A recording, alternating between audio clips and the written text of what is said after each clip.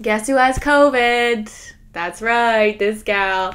Um, I was actually unsure if I was going to address it or not, but I feel like in my voice and such, it's kind of hard to ignore the fact that I do sound different. Like, this is my first time having COVID and hopefully the last. Um, but I feel like the thing it attacked the most was my voice. Like, this past week, I feel like it's been a whirlwind in terms of like my speaking and whatnot, which is hard for me. I love to talk, I talk all the time. Um, but yes, I have COVID, but that's okay because the Disney princes take priority, and I am here and ready to talk about my thoughts and feelings. Hello, everyone. My name is Caitlin, and welcome back to my channel. So, it has been a hot minute since I've done like a classic Disney related video. And by Disney, I of course mean the Disney animated movies. As we talk about Disney Channel all the time on here, that's nothing new. But a few weeks ago, my friend Jackie and I went to Disney on Ice, and as you can imagine, they had this whole special segment for the Disney princesses and their princes. And so I'm sitting there eating my snow cone, and I thought to myself, you know what? I love Flynn Rider so much, and Naveen, and Shang, and Kristoff. And so I'm like, you know what I need to do? Why have I not ranked all of the Disney princes just like I ranked the Ken characters a little while ago? And so that is what we're here to do today, and I'm excited. So we've got 12 boys to rank today. We're just going over the official lineup, and we're just going over the original movies. So no sequels, no remakes, no animated television series, just the original films, just because I personally didn't have time to scrub through every piece of media that each one of these men have premiered in. So I'm like, no, we'll just focus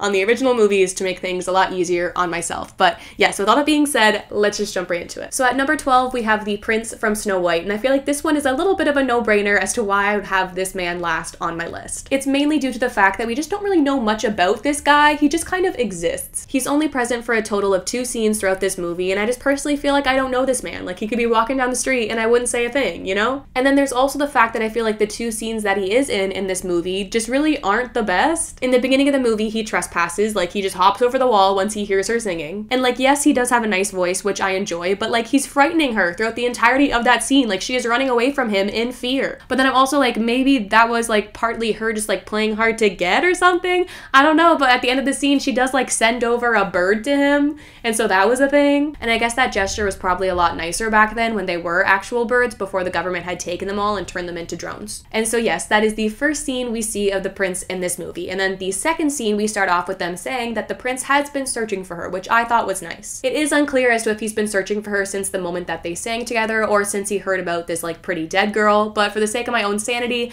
I'm just gonna go with the first one. Then there is the fact that he kisses her dead corpse, which is kind of weird, and how he just like goes on to be like, all right, now is the time when we leave. Like, I found that to be a bit odd, but I guess he does let her ride on the horse instead, which I guess was nice. It's a classic fairy tale, so I feel like I can't harp on it too much. And also, apparently, they went on to live happily ever after, and so I love that for them. There is also the fact that he is an actual prince, like, I will give him some bonus points for that. Like, I know that that's literally what we're basing this list on, it's Disney princes, but oftentimes they're princes through marriage at the end of the movie. So I feel like this guy definitely gets some bonus points for being a prince from the start. But that still doesn't make him any more appealing to me than any of the other guys on this list, not to mention the fact that this guy doesn't even have a name. Like the prince? Are you kidding me? You don't even have a name? Back of the list, am I right? Um, and so yeah, that's the prince from Snow White at number 12. Now I feel like this next one will also be pretty obvious as to why he is so low on this list, but nonetheless, it is John Smith from Pocahontas. Now obviously Pocahontas is a very nostalgic movie for me, and so I have attachment to it because of that, but I still just feel like I can't talk about it without acknowledging the fact that it is super problematic and just disrespectful to the original story of Pocahontas. John Smith is a colonizer, he admits to fighting and probably killing numerous indigenous people in his past. They very much so make it seem like he does it as a sport as well. Like if you watch the first scene where he meets Pocahontas for the first time, he's definitely treating her like his prey, like he's gonna shoot down. But then he's like, oh no, I can't do it because she's just too beautiful. And I'm just like, no, I just, I can't get behind it. It makes me feel so icky. And I know that that was kind of the whole point of this movie to show that like love changed him. And once he met Pocahontas and he was finally able to see these people as real people. But I just personally feel like he should have been able to see them as people beforehand. Like it shouldn't have just taken this pretty girl to be able to change his mind. And like, yes, I know that Pocahontas is so much more of a character than just like some pretty girl, but I do feel like you can't deny just how overly sexualized she is in this movie. And so yes, he does come around by the end of the movie, but I just feel like his problematic beginning is too big of a red flag to not take into account while evaluating his character. But for the sake of this video, some things that he did in this movie that I feel like were good would probably be his relationship with Thomas, like how in the beginning of the movie when he jumps overboard for him, and then how he takes his place and gets captured for the crime of killing Kocoum instead of him. He also tries to reason with his crew through to not start a war with the indigenous peoples, which is good. And I also really liked the way in which he was able to ease Pocahontas's fears and make her feel like whatever was happening to him really wasn't that big of a deal, like when he got captured or when he was injured at the end of the film. And then, of course, there is the fact that he does take a bullet for her dad. That was very noble of him. Um, and also the fact that he can climb trees. That's just a personal one for me that I enjoy. I like that he can climb a nice tree. And so, yes, I will admit that the guy does have some redeeming qualities to him, but overall, he just gives me the ick too much that I just can't have him be any higher up on this list than he is. And also, just the fact that they're able to communicate at all just makes no sense. I don't like it. Like, I know this is a Disney movie where, like, we have talking trees and animals, and you're just kind of supposed to, like, fall into the fantasy of it all and just accept the fact that they can communicate, even though they don't speak the same language. But I personally just, I can't get behind it. It makes no sense. I don't like it. Um, and so, yeah, that's how I feel about John Smith. Okay, so moving on, we have Prince Charming from Cinderella up next. So obviously this man is pretty low on this list for similar reasons as to why Snow White's prince was pretty low as well. But I feel like unlike with the prince from Snow White, with Charming, the scenes in which he is in in this movie, he's like pretty okay. I like that he's a man who knows what he wants. Like the moment he sees Cinderella for the first time, he stops what he's doing and he goes right to her. And the dude doesn't give up. Like when she runs away, he does go on to chase after her. And I know that there has been some controversy on the whole shoe thing, but I think it's important to remember that in this telling, that was not his idea. That was his father's idea. And as far as I interpreted things, I don't actually think he had any involvement in the whole shoe process at all. Because there's also the whole argument of like he didn't even recognize Cinderella without the pretty dress. But honestly, in this movie, I feel like he wasn't even given the chance to. And I also feel like it's very unclear as to if he really did only marry her because she fit into the slipper, or if because they brought her back to the palace and he was like, oh yeah, that's the girl I danced with. Nice to see you again. Let's get married. Like, we really don't know what happened in between those two scenes. But yeah, the dude can also dance and sing, which I think is a great bonus for Cindy. And listen, I know we're only supposed to be going over the original movies in this video, like that was the criteria I personally set, but I just honestly can't get over him jumping out of a window in the third movie. If I would have taken sequels into account with this list, he probably would have been a little bit higher up on it just because I personally love him so very much in Cinderella 3. But yeah, there is also the fact that he is a prince from the start as well, which is great, and that they do go on to live happily ever after, which I just love for them as well. Also, shout out to Kit from the live action movie because that man truly has my heart, but the OG guy just really doesn't do it for me like some of the other men do on this list, and so that is why he is number 10. Also, once again, no name which is just really unfortunate. So, yeah, that's how I feel about Prince Charming from Cinderella. Up next, we've got Prince Hans from Frozen, and you might be thinking, Caitlin, what are you doing? This man tried to kill Elsa and Anna and take over their kingdom. Like, shouldn't he be last on this list? And, like, yes, you're probably right. This guy should probably be at the bottom, but there is the fact that I just feel like this guy is such an entertaining villain that I just couldn't have him be any lower than this. Like, would I want to marry the man? No, I don't like his sideburns. The guy is super power hungry and incredibly two faced. And there's also the fact that he tells his whole plot to Anna and then doesn't actually wait around to make sure she actually dies. Like, I don't think that the guy is very bright either. And so, no, I don't like this man as a person, but I do think he is a very interesting character. Like, he's great at being fake, his acting skills are 10 out of 10, and I hate to say it, but he probably would have been a pretty decent king of Arendelle. Like, did did you see him taking care of the people when Anna had him in charge? Like, I feel like he did a pretty decent job. But alas, he still sucks, and so that's why I personally can't have him be any higher up on this list than he is. I also just don't understand why, to this day, did he smile when he was in the water after Anna had left? Was he just happy that his plan was working out? We may never know. Um, but yeah, those are my thoughts on Han. So let's move on to number eight. So at number eight, we have the Beast. And to be honest, he kind of reminds me of John Smith in a way. Just in the fact that he sucks so much in the beginning, but you feel bad kind of like judging him for that because that is also kind of the whole plot of the movie. So he's described in the beginning of this movie as being spoiled, selfish, unkind, and having no love in his heart. We all know the story. He wouldn't let the old lady into his castle for shelter, but then I'm also kind of like, neither would I, like stranger danger, you know? But I guess the whole point is that like he has this whole castle and and people that could protect him if something went wrong and he still didn't let her in, which was kind of not the best on his part. He's also the reason why everybody who lives with him got turned into household objects, and I personally feel like he never really took accountability for that. The dude has some serious anger management issues, and he's just so incredibly mean to everybody around him that it's almost hard to watch at times. He unrightfully imprisons Belle's dad and then goes on to do the exact same thing to Belle as well. And then there's also the fact that he like drags Belle's dad out by the collar and forces him to leave. And then it also bugs me how he is just like slightly nicer to Belle because she is this pretty girl who like has the potential of breaking the curse. Like that just bugs me. And the whole like if she doesn't eat with me, then she doesn't eat at all thing was just straight up abuse. As well as when he like blows her snooping thing like way out of proportion and starts like breaking tables and stuff. And then it bugs me because I feel like things immediately change once he saves her from the wolves and she mends his wounds. Like I feel like everything takes a complete 180. He then gives her a library and then we have this whole like romantic montage to show how much he's changed. He then shows her her father and lets her go to him and then shows mercy to Gaston even though he probably doesn't deserve it. And it's like, look, love changed the man and it sounds like this really beautiful, pretty, perfect picture, but I personally just feel like I can't get past all the red flags from the beginning and I feel like the change happened way too quickly for me to actually believe it. And I feel like I just have to give some major props to Belle because I know I would never be able to trust this guy after how absolutely terrible he treated her in the beginning of this movie. I also just don't think his character development was good enough. It happens too quickly as far as I'm concerned. And so I just, I don't like the guy. And that's how I feel. Honestly, part of me is like, maybe he should have been even lower on this list just because I don't like him that much. But then it's like, at least he's better than some of the other cardboard cutout princes that I just have like no feelings or thoughts about whatsoever. And so at least he made me feel something. And so that's why he's at number eight. That's how I feel about the Beast. Um, yeah, let's move on to number seven. All right, so we're finally getting around to the boys that I actually like. And so we have Prince Phillip from Sleeping Beauty up next. Now, I feel like without a doubt, this boy is the best out of the original three princes. While we still didn't really get to know much about him as a character, we got way more ship development with these two, which I just loved. First of all, they've known each other since they were little. I do question the age gap a little bit there, but I think it's okay because they never actually got together until they were older. The whole arranged marriage, but then actually falling in love on their own trope is just so adorable to me. She literally interacted with him beforehand in a dream. Like, I feel like that's just next level soulmate energy. They also have this whole like forbidden love story because they don't know that the other person that they like is actually their fiance. Like, I feel like there's so many levels to their story and I just love every part of it. And unlike Snow White's prince, I just personally feel like everything he does when he is on screen is just 10 out of 10. Like, yes, it was a bit abrupt for him to interrupt her singing and it definitely gives the same vibe of that scene from Snow White, but at least he acknowledges how she reacts to it and apologizes for frightening her.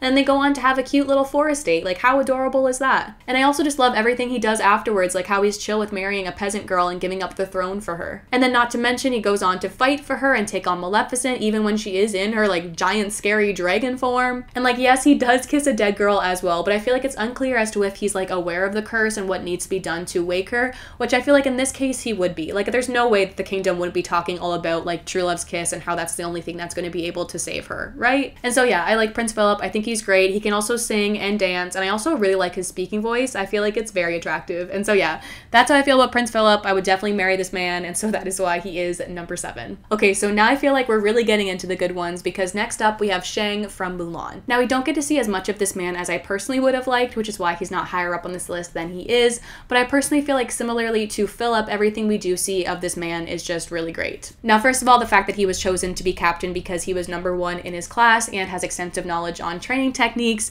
I mean, there is also the fact that he is the son of the general, but I still feel like those accomplishments are his own as well. Then there's I'll make a man out of you. I mean, need I say more? Like, I feel like that scene just speaks for itself in every way. I also love how he doesn't give up in the face of danger, even when the odds are not at all in his favor. And of course, there's also the fact that he spares Mulan's life when she commits treason. He also goes along with her plan in the end and even stands up for her, which I really appreciate. He's also just like this little socially awkward boy. Like, the fact that he figures out where she lives and goes all the way there just to give her back her helmet, like, I love him. He is so pure. He's just honestly such a wholesome guy, and I feel like although we don't get to see that much of him or learn much about his backstory, he's still just so perfect and deserves to be right where he is on this list. But enough about Shang. Moving on to number five, we have Prince Eric from The Little Mermaid. So I personally feel like I've always felt a little bit indifferent towards Eric. Like, I feel like so many people are just so obsessed with him, and I've always just kind of been like, meh. But I feel like after making this video, I can definitely see the appeal a little bit more. So first of all, he's a prince from the start and he's hot, so he's definitely got that going for him too. I like how he has hobbies and interests, like he likes sailing and he has a dog and he can play the flute or whatever that instrument is that he's playing in the beginning of the movie. I also just love how much of a hopeless romantic he is, like how he says that he'll know that she's the right one when he meets her, how he looks everywhere for her after she saves his life and they have that little moment together on the beach, and then the way that he looks at her when he sees her in that pink dress, man, like it's almost too much for me. And then I just admire how great of a guy he is. Like when the ship is sinking and he does everything he can to try to save it, and then he even hops back on the ship when it's burning to try to save Max. And then how he helps Ariel without a second thought, even though he doesn't even think that she is the one because she can't speak. And then how he takes her on this romantic tour around town, ending with this beautiful romantic boat ride. Like, who is this man? But no guy is perfect, and I personally will never be able to get over the part where Sebastian says her name and he says Ariel, and then Eric says in the most Americanized way, Ariel. It just, it it makes me laugh every single time and I love it so very much. But also, like, who am I to judge when I also say her name wrong, anyways? And then when all things come to a head, he really does come through at the end of the movie. First of all, he doesn't care that she's literally part fish. He takes on this all powerful sea witch underwater for her, and then is literally the reason why she gets defeated in the end by him navigating the ship into her in the middle of this like insane storm. Like, he is the reason for this movie's happy ending, and I just like, I have to give him props for that. Like, yes, is he a little bit dumb for not realizing that Ariel was Ariel in that moment? Sure, but also he was half unconscious at the time, so I don't blame the guy. And I feel like he 100% made up for it in the end. Also, the I already lost her once, I'm not gonna lose her again line is just perfection and hits me right in the gut every single time. And so yeah, that's Eric. I love him now and I 100% understand the hype, and so that is why he is number five on my list. Now, I feel like some people might be surprised that I only have this next one at number four, but the list is spoken, and so we have Aladdin up next. So first of all, what a backstory. We've got this orphan street rat who has to steal bread to survive. What a guy. And then on top of that, we see him give this loaf of bread that he just risked his life for to these two children who he sees need it more than he does. Like, yes, Aladdin does get a lot of flack for lying constantly, but at the end of the day, he really does just have this heart of gold that I feel like is one of the main reasons why he is just such a lovable character. Another example would be when he stands up to that terrible prince who almost whips the children, or when he saves Jasmine for getting her hand cut off, or of course when he promises to give Genie his freedom moments after meeting him. Which, yes, he doesn't end up doing when he has the perfect opportunity to, but he does come around and do it in the end, so I guess that's what matters. But like I said, he does still get a lot of flack, which I do personally feel like a lot of it is deserved. There is still the fact that he lies to Jasmine numerous times, and when he does have the perfect opportunity to come clean when they're watching the fireworks, he still chooses not to. But you can still chalk that up to him just being incredibly insecure, which part of me really doesn't blame him for. I think the only other thing I don't like about Aladdin is that one moment where he gets all cocky talking about Jasmine with Jafar and the Sultan. I don't know what that was about, but I just really do not like that moment. I wonder if part of it was just because he had just recently put on like the whole prince get up and so he was trying to like fit the part in a way. I don't know what that was, and I honestly feel like I have no excuse for it, but it definitely made me feel icky and I don't like it. But back to the good things, I just feel like I wrote down so many great qualities about this man that I just I have to list them off. So first of all, his guard escaping skills, 10 out of 10. His singing voice is so good, it makes me want to die. He has a pet monkey and a magic carpet, so that's pretty freaking cool. I love that he still has dreams and aspiration despite his like current situation. The guy practically has zero fear. Like he stands up to anyone. He walks into the Cave of Wonders like he owns the place. Like even when the cave is collapsing on him, he still remains like fairly calm. He's also just so smart and manipulative, but in a good way, like how he gets the genie to free him without using up a wish. Or my personal favorite, how he calculates where the window will be on the tower so him and Abu don't get crushed. And lastly, I just have to highlight just like how in love with Jasmine he is. The iconic neck rubbing thing that he does when she gets brought up and just like that entire scene in general. And then of course him taking her on this like romantic carpet ride sightseeing date. Like he's just perfection in regards to Jasmine. When he's not lying to her, that is. So yeah, overall I definitely think that the pros to Aladdin outweigh his cons. I find it funny that he's like so big on trust. Like I think he asks Jasmine to trust him like a total of three times throughout this movie when this guy's like constantly lying through his teeth. But nonetheless, I still love the guy. And so yeah, that's why he's here. That's how I feel about Aladdin. Those are my thoughts. Moving on to number three, we have Prince Naveen from The Princess and the Frog. Now, I was not at all expecting this man to make it this high up on this list, but after going back and revisiting this movie, I was just reminded as to how much I love this man. So obviously, first and foremost, this guy is a prince, but uh-oh, he's broke. His parents have cut him off, which is actually something that I really admire about this guy. This is something I didn't really realize until I got to Naveen, but I feel like for me personally, I'm just really attracted to somebody who like has real ambition and drive. And so if you're just like living off of your parents' wealth, that's kind of a bit of a turnoff for me. And so I admire the fact that his parents were like, no, like he needs to understand the value of hard work. And so we're cutting him off so that he can make something for himself. Obviously, him taking that as, okay, I need to marry a rich girl is a bit of a red flag, but obviously he does come around in the end, which is great. And obviously, there are quite a few negative qualities when it comes to Naveen, especially in the beginning of the film. So I figured we'll focus on the positives first. So he can play the ukulele, he loves jazz, he can sing, he can dance, he teaches Tiana how to dance, he's very smooth, even when he is a literal frog, and I love how he encourages Louis to follow his dreams. On the flip side, though, he is very much a flirt. He literally makes a move on Tiana after they had just been turned into frogs and they have done nothing but fight up until that point. And at the beginning of this movie, he really only cares about girls and partying. He's also maybe not the brightest, like he does make a deal with the Shadow Man after all. He also lies to Tiana about being broke to get her to kiss him. And in the beginning of the movie, he really just does not understand the value of hard work and makes Tiana do everything for him. But I think the main thing that makes me love him so much is that he has just such great character growth. I also feel like he's a type of character where you can understand why he acts the way he does. Like he was given everything growing up, and so why do we expect him to be able to like understand the value of hard work and be able to make something for himself now when he was never taught how to do that? And then, like I said, his character growth is just so good. Like, once he falls for Tiana, I feel like everything changes. But it's like a gradual change. It's not just like the flip of a coin, he's a good guy now. Like, no, it happens throughout the course of the movie, and I feel like the pacing is done really well. He goes back to save her when she gets captured by those fishermen without a thought, and I feel like that was pretty early on in the movie as well. But I think the thing that gets me the most is the fact that he falls for Tiana so hard that basically everything he cared about before becomes irrelevant, and the only thing he cares about now is making sure Tiana's dreams come true. To the point where he gives up his own dreams of being with her in favor of hers. This man really does pull just like a full 180, and I personally feel like it's done so well. Like him helping her get her restaurant in the end, just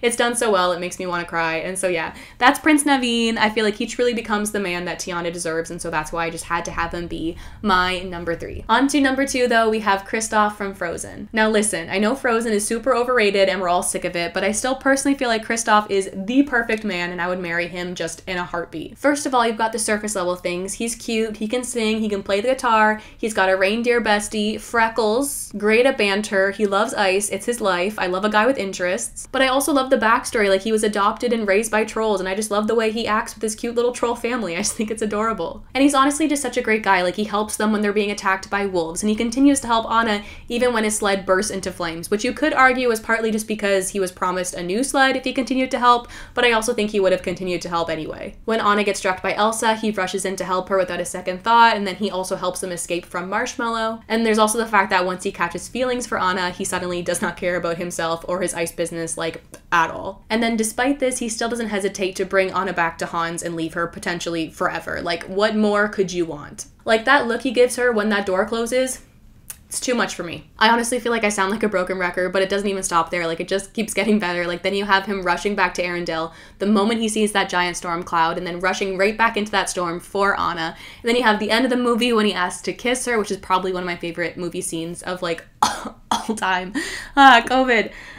I'm trying to talk about Kristoff. And part of me is happy that we're only talking about first movie installments for this video because I personally feel like not that they ruined his character in the second movie, but I am a little bit disappointed that his purpose only became to like be in love with Anna in the second movie. Like, don't get me wrong, I love Lost in the Woods as much as the next person, but I do feel like part of what I like so much about him in this movie is that he is more than just like Anna's love interest. Like, he is his own character as well. So yeah, I feel like that is all I have to say about Kristoff. But before we move on to number one, I do have a couple honorable mentions. Just like I have some men that like weren't in the official Disney Prince lineup, but I feel like definitely deserved a shout out. So we'll do that quickly and then move on to number one. So first of all, you've got Hercules. I mean, obvious reasons. He's the son of Zeus and he's also like a demigod. So I feel like he definitely deserves a shout out. And then you have Tarzan. I'm not really too sure how qualified he is to like deserve this shout out, but I guess he's like kind of the king of the jungle, right? I say so. So he gets a shout out from me. Then you have Milo from Atlantis, just because I personally love this man so much. And then I guess he also does kind of count. Like he kind of becomes like the ruler of Atlantis, right? With him and what was her name? Kida? So yeah, he gets a shout out from me. And then you have Simba, who we stand, but also like he's a lion, so that kind of complicates things, and it's hard to kind of compare lions to humans, but nonetheless, he exists. Um, and then there's also Robert and Edward from Enchanted, whom I both love very, very much, especially Robert. Like I feel like if I would have included the Enchanted boys, Robert would have probably been very high up on this list. Um, and then of course Ben from Descendants. I could not give that man a shout out. I love him with my whole heart. But with all that being said, let's move on to number one, which is, of course, Kuzco from The Emperor's New Groove. No, I'm just kidding. It's not Kuzco, but that'd be really funny if it was. Uh, no, instead, it is Eugene slash Flynn Rider from Tangled. Are you surprised? Probably not. Like, listen, I know it's a bit of a basic response to say that Eugene is the best Disney prince, but honestly, it's just facts. Like, until they make somebody better, Eugene will forever be my number one. I actually even, I'm not too sure if you guys are familiar with this, but when you work at the Disney store, you get to have a character on your name tag that is like your favorite character, and mine was Flynn Rider. I can prove it. It's over on my wall. I actually don't feel like getting up, but I can show you a picture. That is my name tag, and that is Flynn Rider on there because he is my favorite Disney character. Actually, okay, that's a bit of a lie. I put down two other characters before Eugene, but they were both Disney Channel characters, and so that's why they chose Eugene. I also wrote down Eugene and they put Flynn Rider, so that wasn't my choice, that was theirs. I respected his true name. I just had to make that known. But enough of that, let's get into my notes, shall we? So why do I love Eugene so much? Well, first of all, he's got the backstory. Growing up as an orphan and having to make a name for himself, pun intended. I also, like, what can I say? I enjoy a bad boy persona with him, like, being a thief. And not just like any thief, like, this guy was able to like break in and steal the kingdom's most valuable thing. Like that's saying something. His voice, like singing or speaking, either way, it's absolutely beautiful. He's also a great storyteller. Like there's a reason why he was chosen to tell the story of the movie. Like he's great at it. The dude is also pretty indestructible. Like he falls off a cliff, gets knocked unconscious numerous times, gets hit by a beam, almost drowns, catapults onto a horse, gets stabbed, and still lives to tell the tale. Now, is he fairly manipulative and two-faced in the beginning of this film? Yes, but just like with Prince Naveen, once he falls for Rapunzel, his character development is just through the roof. He's got the cute nickname for her, the way he looks at her during the town exploring scene, and the whole boat sequence is just everything to me. And then how he tries to give up the crown in exchange for Rapunzel and her safety, and how he keeps fighting for her when he's literally about to be executed. And then, of course, like I mentioned earlier, it doesn't stop there. He then goes on to literally get stabbed for her and then sacrifices his life for hers by cutting her hair. Which, speaking of, I've seen a lot of discourse online recently about how he cut it too short, which just makes me so mad because I remember at the time thinking, like, wow, this is so great that they're showing a Disney princess with like really short hair, and she still is incredibly cute. So, everyone online saying that it's ugly, you're just wrong. Like that's not true. I love her little pixie cut and it makes me so happy that we have a Disney princess with short hair. I mean, they don't really show Rapunzel that much with her short hair, but still I love how like canonically that is how she looks by the end of the movie. And also the fact that he was able to do that in like one clean swoop while he is like currently bleeding out is pretty impressive. I also love his relationship with Maximus, like the fact that his nemesis in the beginning of the movie is literally a horse is just golden and then their journey from like enemies to besties is everything to me. But yes, I love Eugene. Is he a little bit of a problematic flirt in the beginning of this movie? Yes, but it's his character growth that makes me love him so much. I actually wrote down a couple lines that I just like I feel like I can't talk about Eugene without shouting out. So first of all, we've got the line when they're in like the cave thing and they're about to die when he like grabs Rapunzel's face and he's like there's no point. It's pitch black down there. Ugh, gets me every time. Um, and then of course you were in my new dream. Like I can't not talk about that line when talking about Eugene because it's probably one of the best Disney lines to ever exist. Um, so yes, I love Eugene. So does everybody else, but like that's because he's perfection. But yeah, I want to know which Disney prince is your favorite. So don't forget to let me know in the comments down below. I personally feel like the Disney princesses get a lot of love, and obviously for good reason. I love strong, independent women. But I had a lot of fun talking about the princes today because I feel like they also deserve some love as well. And so that's what we did today, and I feel like it was a lot of fun. So yeah, like I said, let me know down below which prince is your favorite. I can't wait to read all about it. Anyways, Cater Tots, that is all I have to say for today. I Hope you'll have a wonderful day, and I'll talk to you very, very soon. For those of you who stick around during the outro because I've been giving life updates now. Uh, yes, I did have a good trip to Spain. No, I don't think I got COVID from my trip to Spain. I think I got COVID from my Sebastian Yatra concert that I went to the week before my trip to Spain because I started showing symptoms while I was on my trip. So that was a lot of fun. Um, but yeah, overall, I did have a great trip. I was kind of thinking about doing a merch haul because I found a lot of fun Soy Luna stuff in Spain. So I was thinking about doing that on my Patreon. So if I got any patrons watching, let me know down below if that's something you would like to see because I would love to do that. Um, but yeah, I think that's all all the updates I've got for you guys today. Um, so yeah, love you guys. Bye.